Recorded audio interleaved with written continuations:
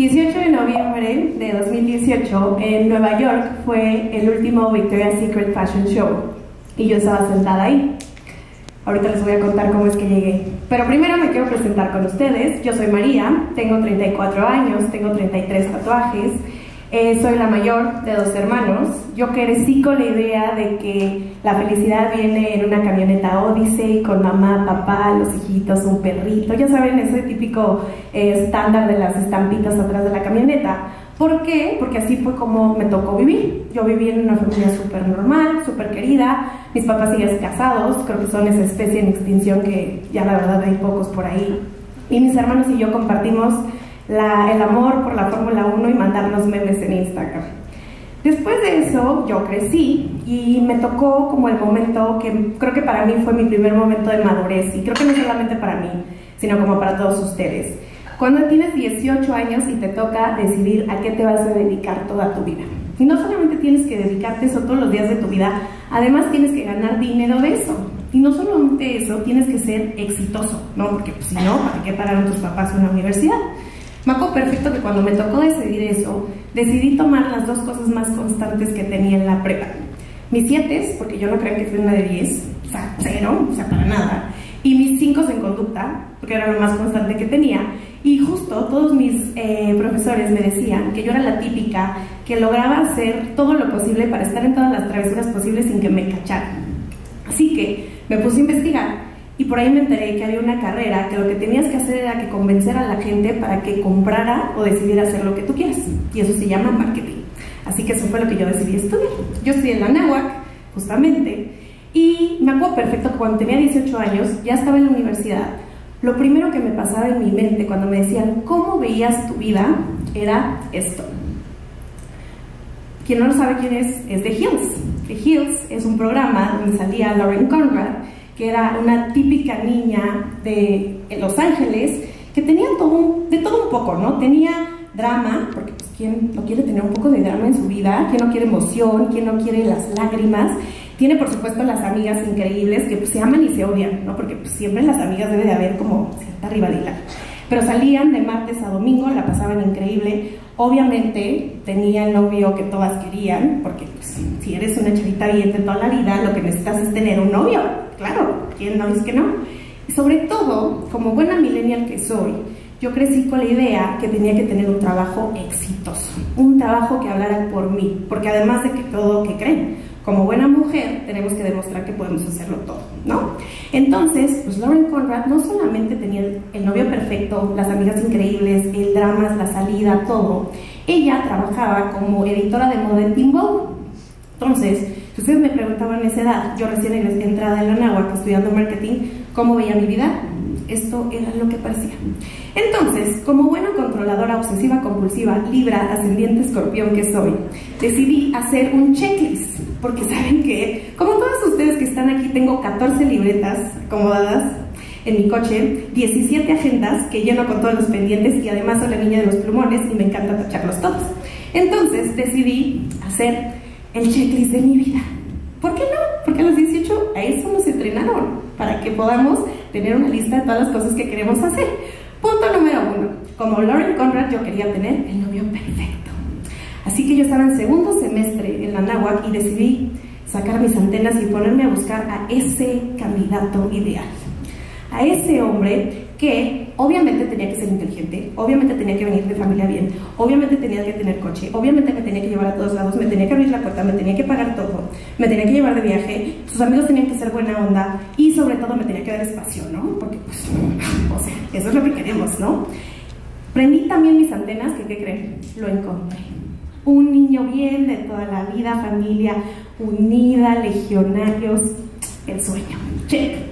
Tener el trabajo perfecto, yo iba en quinto semestre y decidí que era momento de empezar a trabajar, porque en ese momento pedían becarios con experiencia. Les estoy hablando que era 2006. Pobres de ustedes, no me quiero imaginar cuántos becarios con experiencia necesitan ahora.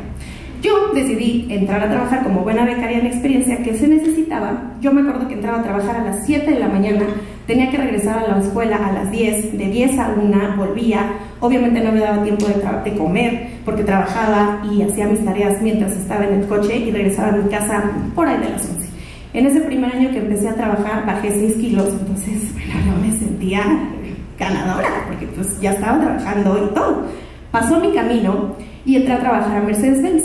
En Mercedes-Benz yo fui la primer community manager. Ni siquiera nadie en esa vida entendía que era community manager. ¿Cómo les explico que ni siquiera tuve una materia que hablara de digital?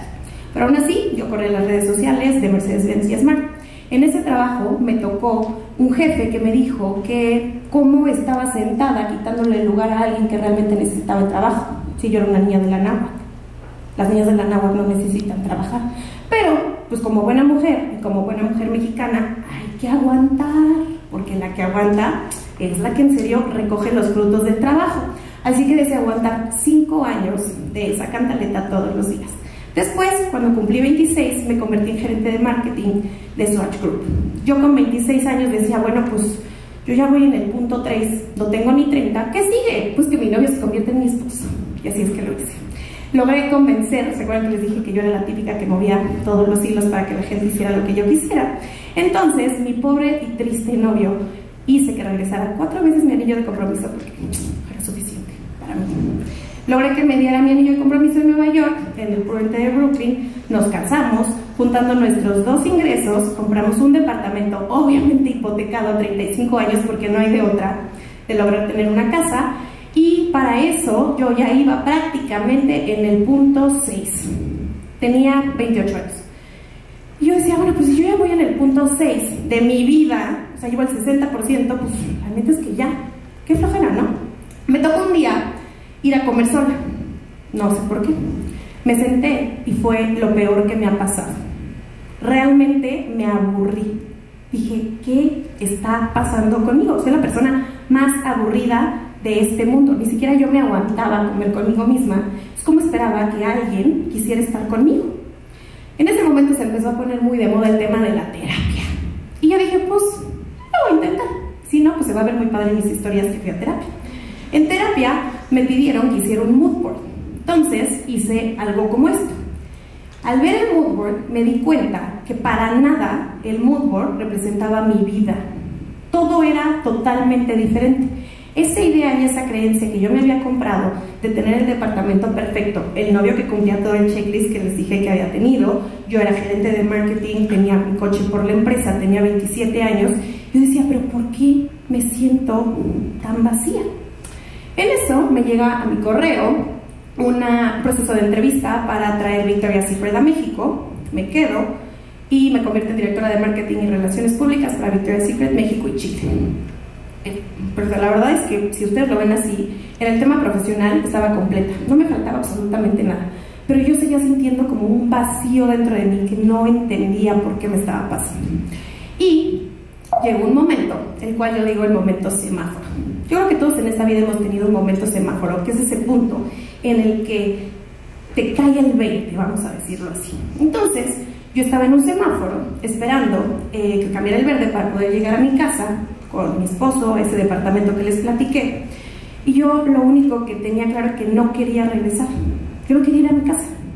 Porque no, o sea, creo que mi principal motivo por el cual no me sentía feliz era porque no estaba en un ambiente feliz para mí. A pesar de que mi ex era una persona maravillosa, cumplía todos los requisitos que yo pedía, teníamos una casa perfecta, nos casamos y todo era maravilloso, para mí no era lo que yo quería. En ese momento estaba mucho más conectada conmigo misma, empecé a hacer ejercicio, me empecé a preocupar por mí, seguí en terapia y no solamente por postearlo en Instagram.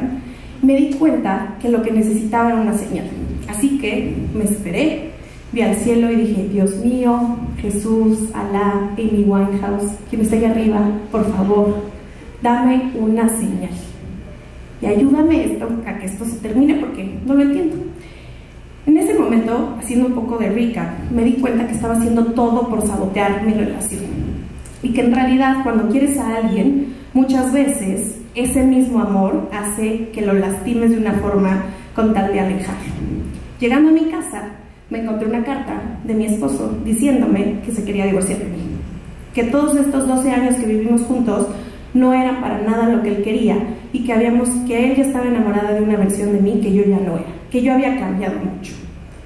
Cuando leí la carta, por supuesto que cambié, pero creo que cambié hacia encontrar mi realidad. Entonces, agarré mis cosas y dije, ¿qué va a decir la gente? María, la que compró el departamento, la que tenía la casa perfecta, ¿cómo va a estar divorciada a sus 29 años? Eso es lo peor que le puede pasar a una mujer. ¿Cómo es posible si lo tenían todo? Ahí estaba yo, firmando mi divorcio con mi ex esposo en ese momento, y esa fue la última vez que lo vi. Ahí es donde me di cuenta lo frágil que es el amor. Cuando una persona que se convertía en tu vida y era totalmente tu universo, puede desaparecer tan fácil de tu vida. Literal fue la última vez que lo vi. Pero no importó, porque yo estaba viviendo mi vida al máximo. Yo salía de miércoles a domingo, bajé bombo, o sea, ustedes, yo hice y deshice todo lo que me había hecho en esos pasados 12 años que perdí, porque ya saben que cuando terminas una relación perdiste el tiempo, ¿no? Eso lo que todo el mundo sabemos que pasa. Pero bueno, yo dije, este tiempo hay que recuperarlo, porque pues así el tiempo pasa y pues yo ya estaba cumpliendo 30. Yo estaba cumpliendo 30. Entonces, decidí que me iba a enfocar a mi trabajo.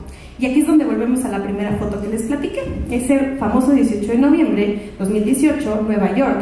Yo estaba de regreso en mi hotel. Cuando vi esta foto que me mandó una de las editoras que yo invité para que cubriera el evento, literal lo único que podía ver era una María vacía, emocionalmente agotada y harta de la vida perfecta. Así que tuve mi segundo momento semáforo después de salir de una junta en la que me sentía exhausta. Cerré mi computadora y otra vez volví a decir, Jesús, Dios mío, Buda, Alá, Amy Winehouse, ayúdame por favor a terminar esto, ya no soporto trabajar aquí. Pero una vez más, yo no me atreví a tomar las riendas de mi vida. Y adivinen qué pasó. Después de que yo creía que ser la de los resultados perfectos, la que tenía las mejores campañas, todo el mundo en global sabía lo que estábamos haciendo. Un 23 de diciembre me marcan de recursos humanos. Ustedes saben qué pasa cuando te marcan de recursos humanos en las empresas. Tú agarra lo más que puedas, mételo a tu cajita de cartón, autodestruye todos los archivos porque esto se acabó. Y efectivamente, eso se acabó.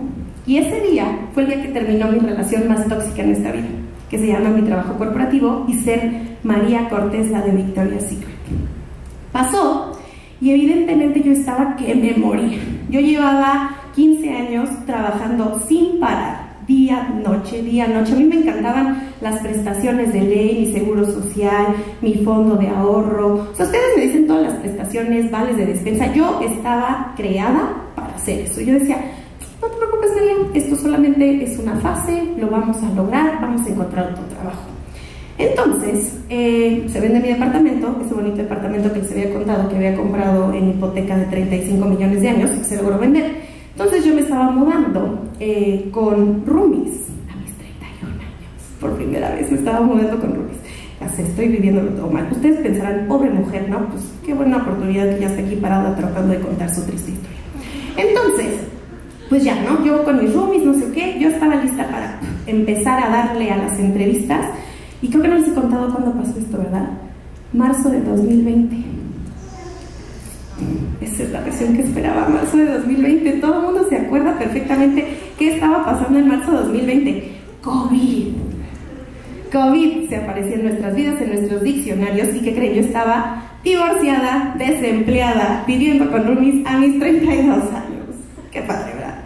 Entonces, evidentemente, el miedo fue lo que me tomó, porque cada vez que yo me metía a mi cuenta de banco, yo veía como mi bonita eh, liquidación se iba haciendo más chiquita, más chiquita, más chiquita, más chiquita. Y ahí fue la primera vez que me dio un ataque de ansiedad. Y viví el, el miedo. Y me di cuenta que nadie nos enseña a vivir el miedo. ¿Por qué? Porque el miedo para nosotros es el preámbulo a la muerte, la destrucción y todo lo peor que nos puede pasar. Entonces, lo único que nos enseñan es a evadirlo, por supuesto. Pero es que creen que yo agarré y dije, bueno, a ver, o sea, esto es algo que pues, hay que ver qué hacemos. No, no importa, no vamos a perder la esperanza y la emoción. Procesos, tan procesos, tras proceso, tras proceso. No es broma, yo, yo creo que pasé seis procesos y en ninguno me quedaba. Llegaba la última entrevista, ya saben, la típica presentación, y yo decía, este es, pum, nada. Siguiente, pum, nada. Así. De repente, en uno de estos procesos, era para una empresa que vendía guardas dentales. Ustedes se acuerdan de mi mood board de Lauren Conrad, ¿no? Yo así estaba programada para trabajar en la industria de moda, belleza, trabajé en Victoria's Secret, iba a vender guardas dentales. Y yo, pero por supuesto, yo puedo vender guardas dentales, claro que sí. Entonces yo en la última entrevista y un amigo me dice, María, ¿en serio quieres eso? Y me pregunté y dije, mm, no, no, no quiero eso. Por primera vez en mi vida me di cuenta que todas mis decisiones profesionales y personales las estaba tomando en base a lo que la gente opinaba de mí, no en realidad lo que yo quería. Así que decidí mandarle un correo a la gente de las guardas dentales, cerrar mi computadora y por primera vez respaldarme a mí misma. Y dije, a ver, ¿qué está pasando? ¿Por qué nadie me quiere contratar? Si yo tengo un currículum impresionante, la verdad, o sea, y si yo, al enseñarle a la gente todo lo que había hecho, pues era una mujer exitosa, ¿por qué nadie quiere contratarme? Pues resulta que me di cuenta que nadie me quería contratar porque ni siquiera yo me quería contratar a mí misma para liderar mi vida. Ni siquiera yo quería que yo tomara las riendas de mi vida y había decidido que todo el tiempo, todas las cosas que yo iba a hacer, las iba a hacer en base a lo que la gente esperaba de mí. Así que como buena controladora que soy, agarré mi libreta, mis plumones y me puse a hacer una bonita guía para ser la CEO de mi vida. Y empecé definiéndolo, en lugar de hacer un checklist, donde vas paso a paso, paso a paso, decidí hacer esta pequeña plan de acción, vamos a llamarlo así, pero que si cambia no pasa nada. Punto número uno, reconoce tu camino. Primer lugar, lo que logré hacer fue darme cuenta que la persona que estaba sentada ahí, que por lo que lo había logrado, que por quien logró poner las marcas en el punto en el que estaban, había sido yo, nadie más y que todo ese camino que logré lo había hecho yo. ¿Se acuerdan que les platiqué que estaba muy metida en el tema del ejercicio? Pues me puse a dar clases de fitness en Instagram. Y además me puse a asesorar pequeños negocios y dar conferencias para explicar, explicarles y ayudarlos a que sus pequeños negocios se convirtieran en un poquito mucho más interesantes. En un mes gané 20% más de lo que ganaba siendo Godín, directora de marketing en Victoria's Secret, dando clases. ¿Por qué? Porque por primera vez confié en mí en ese punto me di cuenta que no importaba si estaba casada, si yo trabajaba para tal empresa, si vivía en tal lugar, eso no importaba porque la única persona que era capaz de lograrlo todo era yo. Punto número tres, rodéate de gente que te dé y no solamente te divierta. ¿Por qué? Porque nos encanta siempre estar rodeados de la gente que nos lleve a la fiesta, la gente que nos invite, la gente que nos llama, pero ¿qué hay de la gente que realmente te aporta? Así que le hablé a mi amigo que me preguntó que si estaba dispuesta a vender guardas dentales. En ese momento tenía una agencia de marketing y comunicación enfocada en la industria musical. En el COVID no había conciertos. Entonces agarré, le marqué y le dije, ¿cuántos clientes tienes ahorita? Me dice, tengo dos.